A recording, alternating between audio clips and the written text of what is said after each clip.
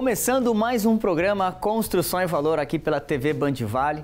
Um prazer ter vocês comigo mais uma vez nessa oportunidade que eu tenho de chegar até você através da Band Vale e também das nossas plataformas digitais.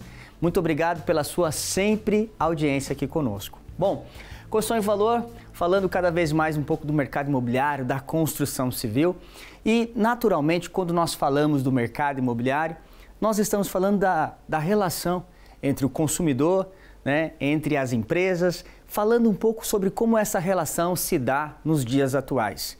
Cada vez mais é, nós precisamos nos atualizar. É necessário entender como que essa, essa relação está acontecendo no mercado imobiliário de uma forma geral. E para isso, naturalmente, existem a, a, a, os interlocutores relacionados ao mercado imobiliário, que é o corretor de imóvel, que é aquele intermediador. Todo mundo que quer comprar um imóvel precisa de um corretor, precisa de alguém para intermediar. E como que isso é, está acontecendo nos dias atuais? Como que isso está acontecendo nesse dia é, de hoje, que nós temos essa transformação, que nós temos esse ambiente tão disruptivo no mercado da construção civil e no mercado imobiliário. Para isso, eu até chamo a sua atenção numa matéria que eu quero colocar aqui, que naturalmente vai mostrar para nós como cada vez mais isso se torna real, né? Ou seja, imobiliária e corretor se tornam curadores na hora da negociação. Então, quando a gente fala literalmente de negociação, não tem como nós falarmos do mercado imobiliário sem citar essa tão importante figura que é a intermediação imobiliária. Não tem como você que está nos assistindo, nos ouvindo, deseja adquirir seu primeiro imóvel ou você que vai fazer um investimento no mercado imobiliário, essa relação ela é extremamente importante, inclusive respaldada pela nossa legislação. E para conversar e para trazer aqui para nós todo essa, esse conhecimento. Eu tenho a honra de receber aqui Alfredo Freitas, que é da Nova Freitas, imobiliária de muita tradição aqui da nossa cidade, de São José dos Campos, também diretor da BMI, né, que é a Associação Brasileira do Mercado Imobiliário, para falar um pouco, trazer um pouco dessa experiência, dessa relação tão importante. Primeiramente, Alfredo, obrigado de verdade por você estar aqui com a gente hoje.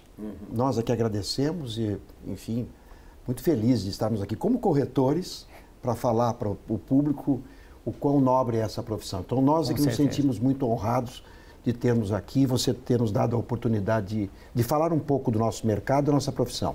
Claro. E quando a gente já começa, Alfredo, é, literalmente dizendo o seguinte, né? O comportamento do consumidor é, tem mudado a cada dia mais, principalmente em relação a essa transformação digital, mercado como um todo. E eu queria que você falasse um pouco para nós, para quem está nos assistindo, um pouco dessa transformação, quanto que, né, ainda mais sua imobiliária, sua atuação aqui no mercado, ou numa, de uma forma geral em relação ao mercado, toda essa transformação, como que você tem visto é, isso acontecer nessa tão importante e nobre profissão que é a corretagem? Olha, muita coisa vem mudando aí. E, infelizmente, para melhor. E principalmente para o nosso público, que é o consumidor, que, que, aliás é isso que ele espera da gente. Sim. Que a gente, obviamente, mais bem treinado, com mais ferramentas e atualizado com relação às nossas práticas, possamos levar um serviço melhor, que é esse o objetivo que nós temos, né? Trabalharmos é, efetivamente para produzir ou entregar produtos melhores, serviços melhores. O produto, quando a gente trabalha para uma construtora, né, a gente precisa estar tá é, é, conhecedor dos, dos produtos imobiliários. Qual é o corretor hoje que vai trabalhar e não conhece ou tem, deixa de conhecer aquilo que mais é importante, que é Sim. entender o produto que ele está vendendo e poder traduzir, passar para o seu cliente as informações importantes da construtora, dos aspectos técnicos, tecnológicos, das vantagens que ele tem com relação àquele produto. Então, o corretor precisa ser muito bem treinado. Acho que essa percepção a maioria dos corretores já estão conseguindo responder por isso. Ah, o processo de treinamento, Magno, processo de aperfeiçoamento vem acontecendo, felizmente, na nossa profissão, para que a gente possa estar junto com a construtora, também nós corretores possamos estar suficientemente treinados para poder oferecer essa informação adequada, confiável, transparente, né? E que o, o, o consumidor, poxa, eu estou entendendo melhor esse produto, porque as construtoras também, de uma certa maneira, com os tempos, vêm se moldando ao comportamento da sociedade. Né? É, depois da pandemia. transformação, né? A pandemia foi uma, um grande divisor de águas, né? Sim. Ou seja, modos, costumes, eh, que tipo de, de, imóvel que eu quero, né? Eu preciso ter um, um, um, especialmente na pandemia, precisava ter um imóvel que pudesse acomodar a família em casa e o negócio em casa. Né? Então, o, o, chamado home office. Sim. Como fazer isso? Né? Então, houve uma mudança assim, é, muito grande e o corretor precisou se estruturar com isso e, de uma certa maneira, pós-pandemia, isso vem acontecendo. Né? Ou seja, há necessidade do corretor conhecer materiais e o corretor está dando uma, uma resposta efetiva para isso. Sim. A gente tem sentido isso. Aqueles que, obviamente, não se adaptarem com isso uhum. vão realmente não, sofrer, sofrer, e não vão conseguir obviamente, se adequar Agora, com, esses, com essas, essas movimentações que a gente vem e, tendo. E você citou uma situação muito importante, que é a situação justamente da, da, dessa transformação. E quando a gente fala de toda essa transformação do mercado propriamente dito, ainda mais após esse período difícil que nós tivemos aí há dois anos atrás, é, a profissão propriamente dito do corretor. Existe hoje muita tecnologia inserida nessa profissão, assim como as outras demais, naturalmente. É, isso é, tem é, os, a classe de um modo geral, ela está se atualizando? Você observa que ela está se preparando? Ou você acha que tem é, causado um certo conformismo? Ou, por exemplo, puxa, a tecnologia vai fazer algo por mim? Que você tem visto essa movimentação em relação à classe? Ou seja, o quanto que o mercado de corretores tem se preparado para esse atual momento? Olha, a gente sente um, algumas barreiras. Vamos hum. lá, temos que também ser as pessoas um pouco mais é, idade, um pouco mais, os corretores mais tradicionais, vamos assim dizer, embora a gente tenha boas surpresas, a grande maioria realmente sentiu o, um, um, susto ao mexer com as chamadas CRMs, que são essas ferramentas de tecnologia que ele lida com os contatos digitais, os clientes digitais que vêm pela, pelos mecanismos digitais. Então ele tem alguns que se assustam um pouco, mas eu diria o seguinte: a grande maioria está entendendo que isso veio para ajudar Sim. Ou seja, quando você fala em IA generativa, que hoje você está numa etapa acima até do, do a inteligência artificial generativa, que é uma ferramenta que nós usamos, inclusive na nossa imobiliária. Ou seja, o cliente conversa com um robô e nem sabe ou nem parece que está conversando com, com, com o robô. O robô prepara esse cliente, conversa sábados, domingos, depois qualquer da meia-noite, qualquer horário, né? com tamanha interação com o cliente e depois, é claro, o robô não faz o serviço. O, o, o, o corretor tem que estar preparado para receber esse cliente que, de uma certa maneira, foi recepcionado por essa ferramenta tecnológica, né? e depois passa para o corretor para que o corretor possa fazer esse trabalho. E aí é importante que ele já, já de uma maneira mais acabativa, parte para as visitas, faça um trabalho proativo, atenda de uma maneira... Uma curadoria que nem a gente viu ali na uma matéria. Uma curadoria né? que possa estar ali aliando a tecnologia, as, as, expectativas do cliente, que isso é importante. A empatia, que é importante, ou seja, se posicionar no lugar do, do cliente, entender os desejos, porque hoje né, a gente tem os conflitos de geração, temos é, as gerações ditam um ritmo de atendimento, ri, ditam um ritmo de comportamento em como o corretor tem que lidar. Você imagina você pega um corretor um pouco mais é, tradicional, não vou nem dizer antigo, mas um tradicional no ambiente. Para lidar com uma geração mais nova, né, é importante que ele conheça um pouco isso, ele precisa de treinamento, Magno. Né? Se ele não tiver adaptado com essas circunstâncias, ele, é, há necessidade. Então, os, os escritórios imobiliários estão se movimentando.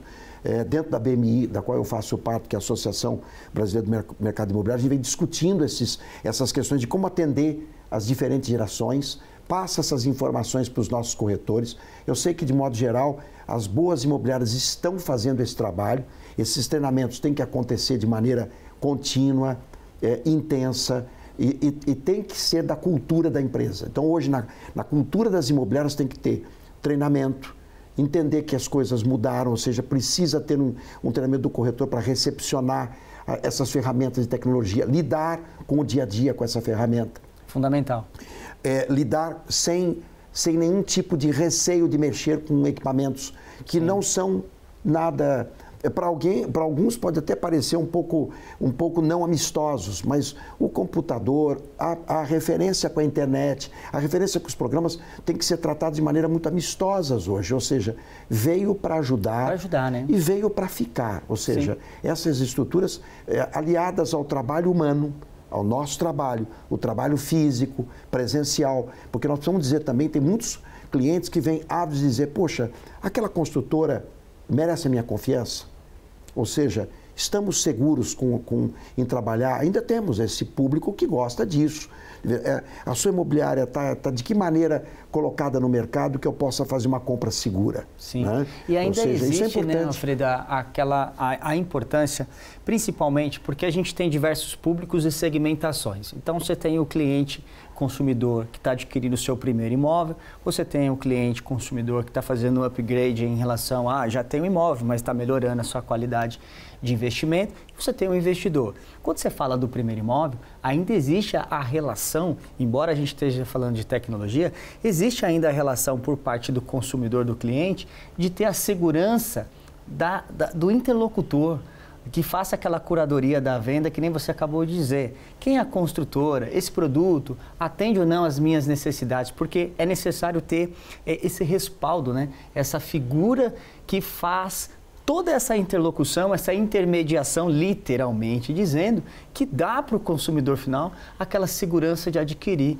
a, a sua propriedade, é, seu, seu investimento. É muito né? interessante o que você falou, porque a gente percebe, nós estamos no dia a dia, eu sou um corretor que ainda estou muito no dia a dia, eu atendo muitos clientes, eu vou a plantões, uhum. eu fico no plantão, é, essa interação é importante. Então as pessoas ficam ali, é, mas é, como é que é esse processo aqui? Qual é a comparação desse produto com esse produto? Ou seja, eles querem também, eles já, já estão, o, o cliente hoje está muito preparado. Muito. O cliente vem com muita informação, e, e, aí você precisa ter ainda mais informação para os aspectos de comparação de produtos, né? É, mostrar que tal região pode ser mais interessante em função do deslocamento de trabalho, Sim. crianças na escola, é, saúde, né? que, são, que são também itens muito importantes. Quem mora em grandes centros está próximo do metrô, se não está próximo né, de locais onde ele vai fazer um rápido deslocamento. Então, essas coisas as pessoas precisam escutar, entender é, as pessoas gostam também de confirmar suas percepções. Sim. É interessante isso. Criar essa conexão, né? Criar essa conexão. Quando eu crio essa conexão, puxa, aquele corretor falou exatamente o que eu estava já pensando. Ele está me dando exatamente um crédito à minha informação.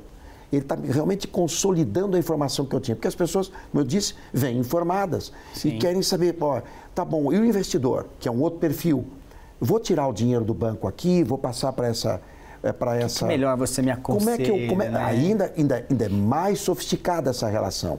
Né? Você tem aí um, um, um cliente muito mais é, exigente, digamos assim, né? que quer também. Qual é o momento para eu tirar meu dinheiro agora do banco para eu poder vir aqui para o investimento imobiliário? Fundamental. Né? O corretor conhece, tem uma percepção exata do movimento econômico está com informações de, de, de do, do, sentimento econômico, do que o país está, o que está acontecendo com a taxa de tá juros. atualizado, né? Está atualizado. Aquilo, né? Então o corretor tem que ler, estar é, afeto às, às, às, informações políticas, a informação política e economia, não vai ficar discutindo questão política com o cliente. Se ele, se ele quiser bater um papo, até vai. Mas Sim. assim, a ideia de entender um pouco o seu país, né, a sua cidade, o seu estado, a sua região. É importante que o corretor saiba como, como estão os caminhos. Para contextualizar. Claro, é, o estado de São Paulo, vamos ter o trem de alta velocidade aqui. Que, que, impacto vai acontecer com a região do Vale do Paraíba? O que vai acontecer com a região de Campinas? Né? É, consolidar a informação do cliente investidor e até para quem está comprando imóvel para morar. Poxa, como é que vai melhorar a minha mobilidade? É, nesse local. Dia desse estava um cliente meu perguntando, Alfredo, estou aqui numa região de Eugênio de Melo, quero comprar uma propriedade na região leste de São José dos Campos. É, o que vai acontecer na, na condição viária do município? Você pode me passar alguma informação? Né? Ou seja, se você não tiver minimamente, não tiver minimamente né? informado, ele, ele até tem algumas. Olha, eu conversei com o prefeito num debate e tal, ele está falando isso para mim. É. Assim, eu, então tá bom, vamos lá tentar passar algumas informações importantes que eu acho que pode é, melhorar ainda mais o seu o comportamento com o seu, do seu investimento. É, e naturalmente sente essa, essa segurança, né? Alfredo, eu, eu vou pedir agora, segura aí, o papo está muito legal. E, olha, é, eu vou chamar aqui agora um quadro muito legal que a gente tem, chamado Mulheres à Obra. E eu queria que você que está assistindo, aguenta aí, que a gente vai vir agora o quadro Mulheres à Obra e daqui a pouco a gente vai continuar essa conversa com o Alfredo aqui que está muito legal. Então, roda a vinheta. Reformar o seu apartamento pode ser tranquilo, desde que você se cerque de profissionais competentes e atenda a NBR 16280. E hoje nós vamos conversar com a engenheira civil Natália Coelho, que vai nos falar o que é a NBR 280, como se aplica. Ótimo dia, Natália. Que bom tê-la aqui no Construção e Valor, no programa Mulheres à Obra. Você que é uma mulher à obra, fala pra gente o que é a NBR 16280, como se aplica. Olá, bom dia. Agradeço primeiro a oportunidade de estar aqui no programa e um pouquinho eu vou falar sobre a NBR da 16280, que garante a integridade das construções dentro de reformas em condomínio. Ótimo, perfeito. Sabemos que o síndico, me corrija se eu estiver errada, ele tem responsabilidade civil, criminal sobre tudo o que acontece dentro do condomínio. É verdade que é preciso, sempre que vai fazer uma reforma dentro de um apartamento, comunicar o síndico, atendendo né, a NBR 16280 e como é feita essa comunicação? Sim, correto. É, precisam apresentar documentações aos síndicos, como plano de reforma, que contém escopo dos serviços que serão realizados, é, profissionais e a sua identificação dos profissionais que estarão na obra e o prazo de obra. Além disso, alguns dos escopos exigem a emissão de ART ou RRT, dependendo do profissional qualificado para a execução. Perfeito, mas vamos explicar para o pessoal que está nos assistindo o que é ART, o que é RRT. A ART é a anotação de responsabilidade técnica emitida quando o profissional é um engenheiro civil, e a RRT é o registro de responsabilidade técnica emitida quando o profissional responsável é um arquiteto. Muito bom. E, mas fala para mim, todos os casos é preciso é, atender a NBR 16280? Tem que ter ART, tem que ter RRT? Se eu for fazer simplesmente uma pintura, precisa? Para serviços simples, como pintura que não altera a estrutura do edifício, não precisa de ART. Para troca de pisos, que envolve materiais de alto, é, de alto impacto, é, envidraçamentos de sacadas, é, instalação de ar-condicionado, é, perfuração de laje como rebaixo de forro, exigem ART. Ah, tá vendo? Como a nossa obra pode ser tranquila, mas precisa de acompanhamento de um profissional responsável, cumprir certas normas. Então, eu vou pedir para você, Natália, deixar aqui o seu contato, caso alguém tenha mais dúvidas sobre a NBR 16280, queira contratar os seus serviços. Fala pra gente qual é o seu arroba do Instagram, como o pessoal pode encontrar você.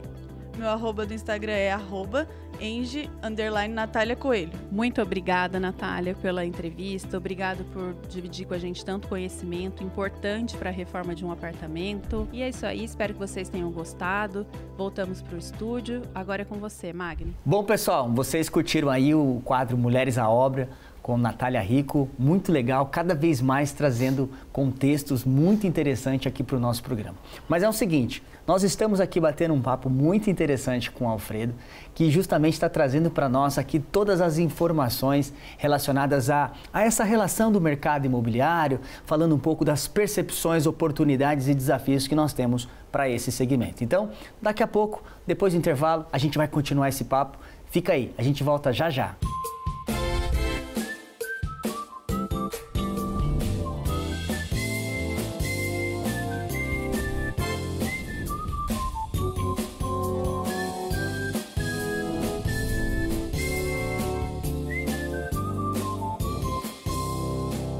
Pessoal, voltando aqui, segundo bloco, Construção Valor, hoje, falando aqui com Alfredo Freitas, que é, é, diretor da BMI, também da Nova Freitas, imobiliária de muita tradição aqui da nossa cidade.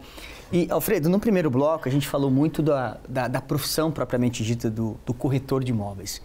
E muita gente, naturalmente, assistindo e ouvindo aqui essa conversa, é, fica aqui também uma, uma coisa muito importante para a gente dar essa reciprocidade e essa devolução para quem está nos ouvindo e assistindo, que é o seguinte: o que, que você pode dizer em relação a todo esse contexto em termos de segurança na hora de adquirir o seu imóvel? Uhum. Que tipo de orientação, dica você pode trazer? Porque não é a compra do imóvel, seja ele para moradia, seja ele para investimento, seja ele para qual for a, a, a, o viés, não é algo tão simples precisa de muita informação, precisa de muita segurança jurídica. O que, que você pode trazer de orientação para o nosso ouvinte? Olha, eu diria o seguinte: a primeira grande dica é o seguinte: consulte um bom corretor de imóveis no primeiro Verdade. momento, porque com certeza ele vai dar é, dicas importantes, especialmente aquele corretor que já está habituado. É legal procurar uma, alguém que possa ter dito: eu, eu fiz um negócio com aquele corretor naquela imobiliária e gostei do atendimento, gostei da forma como o corretor atuou e da segurança com que o corretor me, me passou as informações. Então, eu já tive uma experiência positiva. Então, a primeira dica é cheque quem teve uma boa experiência e, e procure ali, com essa indicação, te levar a esse corretor ou essa imobiliária que Sim. deu, porque geralmente essas, esses escritórios nós temos aí boas estruturas, vamos, falando aqui de São José dos Campos, por exemplo, uhum. né, temos boas imobiliárias, bons corretores, gente muito qualificada que pode é, atender e, e, dar as informações é, de um, enfim, de como é que é aquele produto, se o produto está devidamente estruturado, como se fazer uma boa aquisição, né, de que maneira esse produto tem é, o registro de incorporação, começa pelo básico, né? Tem, está devidamente Sim. estruturado, tem o seu registro, porque ainda temos situações que nos preocupam no mercado com relação à RI, embora tenha outras formas de construção que não necessariamente usam RI e são legais, mas existem as formas corretas de procurar e saber direitinho, porque tem a chamada é, construção com preço de custo, tem Sim. a chamada construção de preço fechado, e há necessidade do, do cliente entender como funciona isso. E não é uma é... coisa do dia a dia das pessoas, eles não, não é. entendem isso. Não é, Magno, isso, é. exatamente. Então as pessoas não têm boa noção disso e é importante que o corretor traga informações precisas de como é que funciona e como fazer uma, uma aquisição. Para isso, a empresa deve possuir ali o seu corpo jurídico, porque normalmente boas construtoras também têm um corpo jurídico que vão dar informações. Né? Uhum. Né? Quando você está procurando o produto a imobiliária também.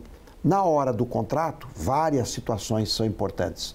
Né? As mais elementares é, é, possíveis é começar a leitura de cláusulas. Como é que são as cláusulas de um contrato? Você precisa ter o apoio do advogado. Boas imobiliárias têm o advogado que vai prestar contas disso para você, vai informar se aquelas cláusulas são equilibradas, que, que estão é, harmônicas, vamos, vamos assim dizer. São contratos que estão equilibrados entre os direitos do construtor ali e o seu direito como comprador. O construtor, no caso, o vendedor, né? A, a, vendedora do produto. E, há que se ter um equilíbrio nesse processo. Então, um, um, departamento jurídico, junto com um corretor estruturado, que saiba compreender e dar essas informações dos contratos, são muito valiosos. Claro, certidões, quando você vai comprar imóveis prontos, né? saindo dos imóveis de lançamento para os imóveis prontos, aí entram também um, um, uma grande importância de você ter o corretor que sabe buscar todas as certidões pertinentes.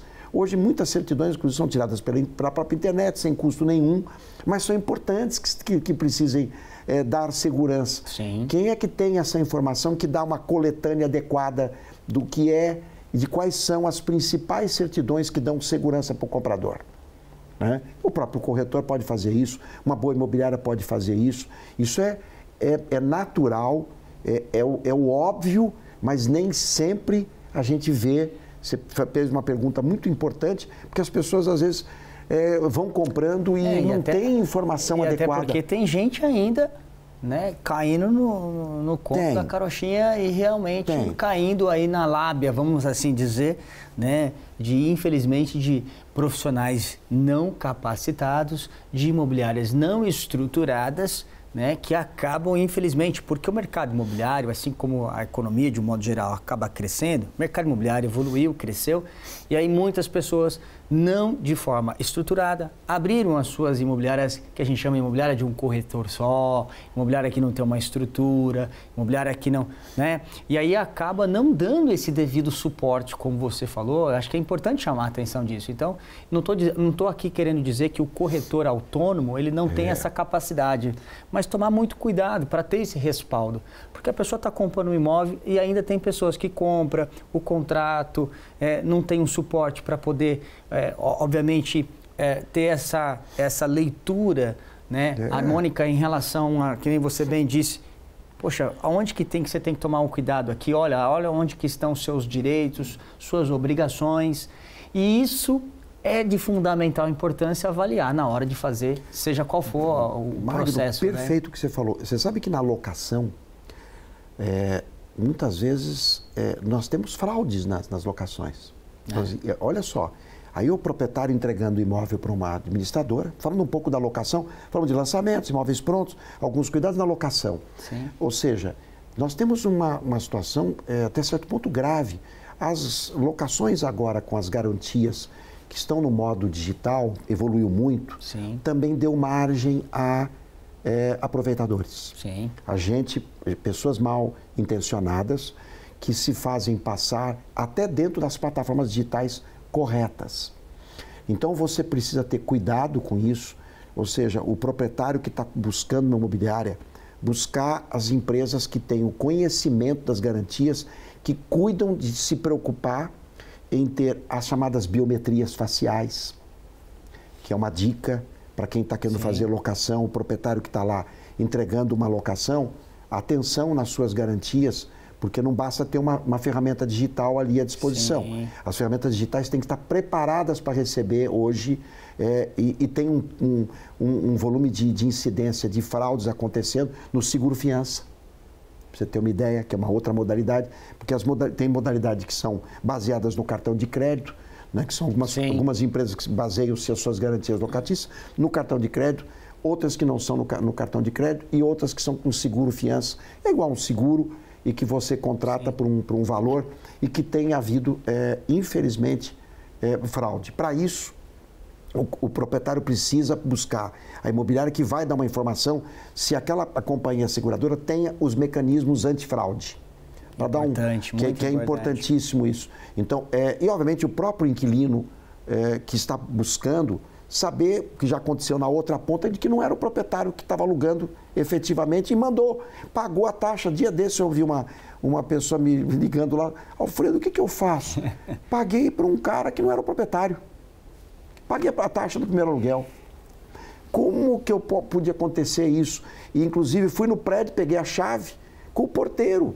Nossa. E, e, tudo parecia legal, tudo parecia. Acho que daí, daí, daí a importância de ter. De importância. Uma... olha, olha o nível como chega. Então, é... muito boas essas observações. E é importante ter um, um, um elo de intermediação confiável. É importante para você importante. fazer. É importante. É, e aí, é, também eu acho que nesse contexto de orientação, é, uma coisa que muito acontece e nós que estamos atuando no mercado, a gente vê isso acontecer às vezes ainda com frequência, infelizmente, que é o quê? É, é justamente é, a antecipação de valores quando ainda não existe nada firmado. Então, ou é. seja, de repente você que está aí nos assistindo, tome muito cuidado quando alguém fala assim: eu preciso de um valor adiantado, deposita isso daqui na minha conta, segue o Pix aqui para segurar a reserva. Se ainda existem muitas pessoas más intencionadas, como você bem disse, né, Alfredo, que é. infelizmente se aproveita desse momento, né, criando situações, inclusive para prejudicar as pessoas, pessoas né? entram no, no, enfim, no digital, é impressionante, Mário, com uma, com uma cabeça de algumas pessoas, graças a Deus não é a maioria, mas isso atrapalha mas tem, o né? segmento, mas tem. Algumas pessoas entram e conseguem construir ferramentas para poder, obviamente, bular os sistemas e, e criar uma, uma, uma situação é, é, muito delicada para alguns ambientes. Então, hoje no ambiente digital, como no ambiente presencial, por isso que é até aquela história, né? Se você está conversando olho no olho, legal, bacana, porque isso é o, é presencial, é o físico, ainda temos isso no mercado. Aqueles que estão usando as ferramentas digitais nos diversos ambientes imobiliários, seja no, no ambiente de lançamento, de imóveis usados ou prontos, como a gente chama, na locação, busquem se certificar de todas as garantias. Existem mecanismos. Né? Quando você chegar no escritório corretor, é, deixa eu ver sua credencial. Primeira coisa também. Sim. Posso, posso me, você podia me dizer o, o, o, seu, o seu número de conselho da sua, da sua profissão? Não se acanhe em pedir isso para o corretor. Porque ele precisa se apresentar também. Olha, eu tenho Cresce, eu estou aqui com o meu crachazinho, meu número do meu do Cresce é 31235. Não por acaso esse é o meu Cresce, tá? Então, ou seja, esse meu Cresce pessoa física. Corretor 31? de imóveis 235. É, então, eu sou um dos mais antigos, com, com o número de Cresce bem antigo. Então, 1986 é meu Cresce. Só para ter, ter uma referência para quem é. sabe disso, é, o meu Cresce é de 2010, 11, é 123, uhum. 214. Sim, diz que está quase agora, acho que nos 280, quase, quase 300, 300 mil, né? É. Ou seja, o meu cresce o que é cresce, gente? Conselho Regional dos Corretores de Imóveis. É o órgão que nos fiscaliza, é o órgão que nos dá, enfim, é, é enfim, acompanha o nosso exercício profissional, é igual o CREA do engenheiro arquiteto, né? CRM do médico nós também temos o nosso conselho. Então é importante para as pessoas pedirem isso. E aí vem a saúde da construtora, Sim. olhar balanço. Puxa, mas eu tenho que fazer tudo isso. É importante também dizer que é. a comercialização de imóveis sem a intermediação por um corretor de imóveis devidamente credenciado. É, é, pode, é, em diversas situações que as pessoas acham que isso não tem, ah, não, vou fazer uma comercialização aqui ou acolá, ah, comprei um de um corretor sem cresce, alguma coisa. Eu escuto muita gente falando, ah, isso famoso. Sem cresce é exercício legal da profissão. É exercício legal. Exercício legal, é, é crime. É crime, é isso. Crime. É importante é dizer que é O corretor crime. que está fazendo isso não tem o, o conselho, por isso que eu estou dizendo procure um corretor credenciado, você vai ter mais segurança. Né? Daí, um corretor credenciado, você já tem um passo importante. E vamos para outras questões que são também, como já falamos aqui é, é, agora mesmo, que são as informações que você vai construindo naquele relacionamento com o corretor. Perfeito. Mas se já vem de um relacionamento indicado por alguém, melhor ainda. Perfeito. Alfredo, o papo muito bom, passa muito rápido mas eu acho que ficou aqui para quem está nos assistindo essa instrução. Né? Num primeiro bloco, falando muito sobre essa atualização do mercado, e nesse segundo bloco, acho que você trouxe aqui é, instruções e orientações extremamente importantes. Muito honrado pela sua presença aqui no Construção em Valor e eu espero que você possa voltar mais vezes.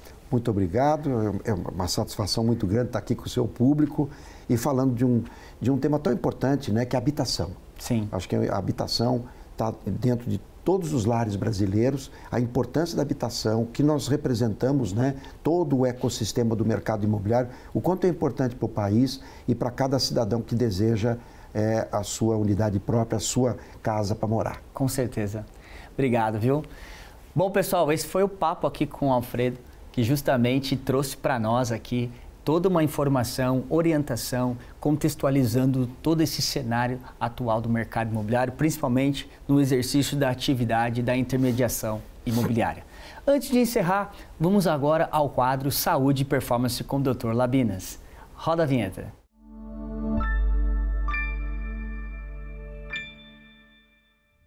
Você é uma pessoa que muitas vezes precisa ficar é, pensando no que os outros acham de você, fica imaginando as cenas mais catastróficas do que você vai fazer ou vai deixar de fazer e como as pessoas vão pensar nisso. Ou seja, você toda hora fica pensando na opinião dos outros. Vou te dar uma dica aqui que eu acho que é muito importante para o seu, seu dia a dia. Parece óbvia, mas eu quero que você reflita nela.